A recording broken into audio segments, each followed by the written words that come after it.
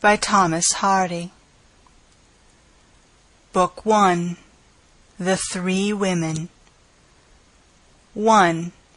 A face on which time makes but little impression. A Saturday afternoon in November was approaching the time of twilight, and the vast tract of unenclosed wild known as Egdon Heath embrowned itself moment by moment Overhead, the hollow stretch of whitish cloud shutting out the sky was as a tent which had the whole heath for its floor. The heaven being spread with this pallid screen, and the earth with the darkest vegetation, their meeting line at the horizon was clearly marked. In such contrast the heath wore the appearance of an instalment of night which had taken up its place before its astronomical hour was come. Darkness had to a great extent arrived hereon, while day stood distinct in the sky. Looking upwards, a furze cutter would have been inclined to continue work. Looking down, he would have decided to finish his faggot and go home. The distant rims of the worlds and of the firmament seemed to be a division in time no less than a division in matter. The face of the heath by its mere complexion added half an hour to evening. It could in like manner retard the dawn, sadden noon, anticipate the frowning of storms scarcely generated, and intensify the opacity of a moonless midnight to a cause of shaking and dread.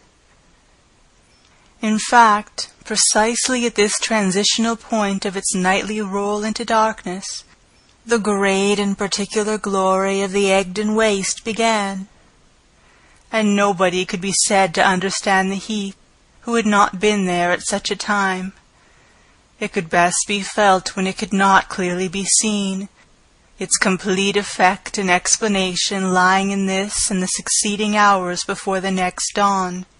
Then, and only then, did it tell its true tale. The spot was, indeed, a near relation of night, and when night showed itself an apparent tendency to gravitate together, could be perceived in its shades in the scene. The sombre stretch of rounds and hollows seemed to rise and meet the evening gloom in pure sympathy the heath exhaling darkness as rapidly as the heavens precipitated it. And so the obscurity in the air and the obscurity in the land closed together in a black fraternization toward which each advanced halfway. The place became full of a watchful intentness now, for when other things sank blooding to sleep, the heath appeared slowly to awake and listen. Every night its titanic form seemed to await something. But it had waited thus, unmoved, during so many centuries, through the crises of so many things, that it could only be imagined to await one last crisis, the final overthrow.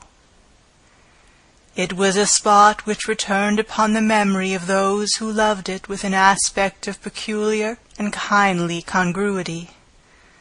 Smiling champaigns of flowers and fruit hardly do this, for they are permanently harmonious only with an existence of better reputation as to its issues than the present. Twilight combined with the scenery of Egdon Heath to evolve a thing majestic without severity impressive without showiness, emphatic in its admonitions, grand in its simplicity. The qualifications which frequently invest the facade of a prison with far more dignity than is found in the facade of a palace, double its size, lent to this heath a sublimity in which spots renowned for beauty of the accepted kind are utterly wanting. Fair prospects wed happily with fair times, but alas, if times be not fair! Men have oftener suffered from the mockery of a place too smiling for their reason than from the oppression of surroundings over sadly tinged. Haggard Egdon appealed to a subtler and scarcer instinct, to a more recently learnt emotion, than that which responds to the sort of beauty called charming and fair. Indeed, it is a question if the exclusive reign of this orthodox beauty is not approaching its last quarter. The new Vale of Tempe may be a gaunt waste in Thule. Human souls may find themselves in closer and closer harmony with external things, wearing a sombreness distasteful to our race when it was young.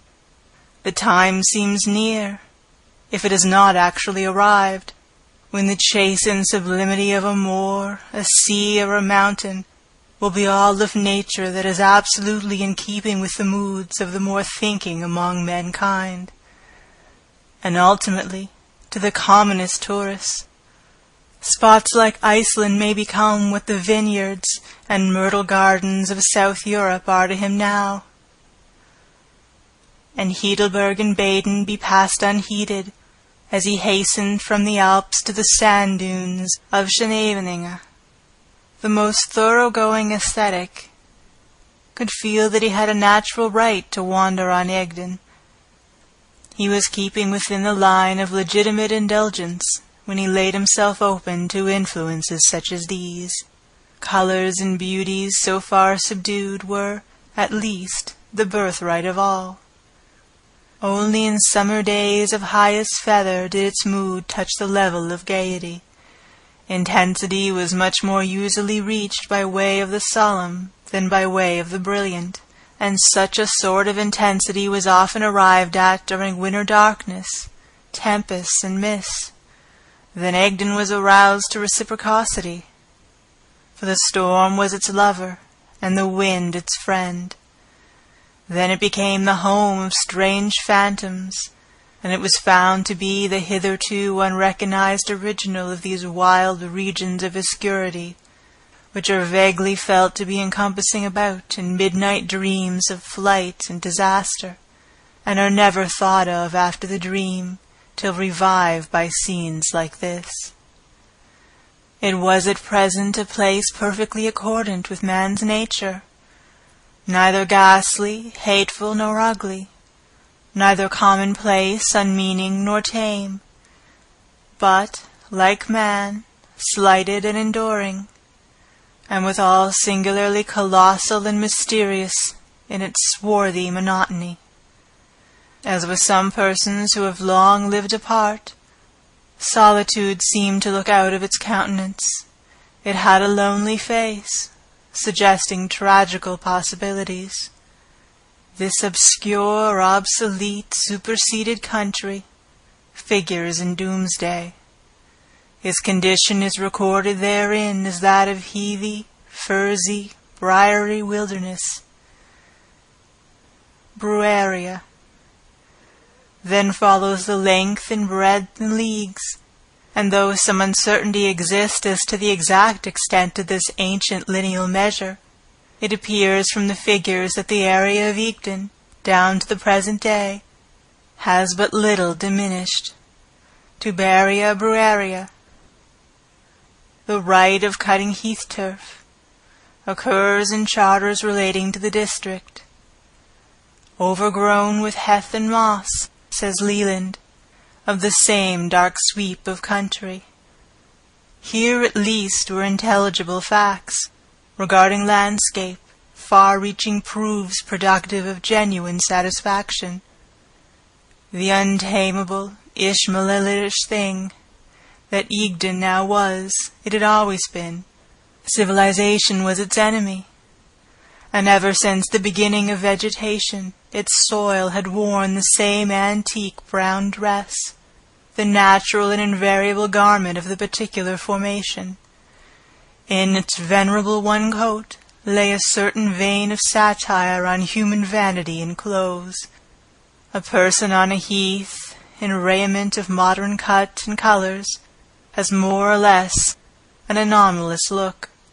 We seem to want the oldest and simplest human clothing, where the clothing of the earth is so primitive.